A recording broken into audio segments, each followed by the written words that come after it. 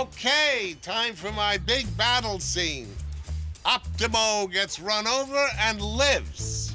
And hit me with the car.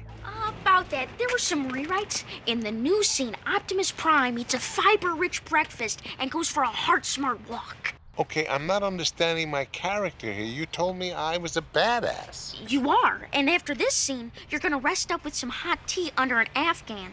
Like a badass. Oh, stop. Just tap me. Tap me with the car. You're old. It would shatter your whole body. I'll show you, old. Hit me with the car. No! You get in that car and you run me over right now. Forget it! You're too difficult to work with. You're fired. You can't fire me. I'm the star. I fire you. You can't fire me. I brought you onto this project. Well, I'm pulling the funding because I'm very upset, even though I'm not quite clear what we're arguing about.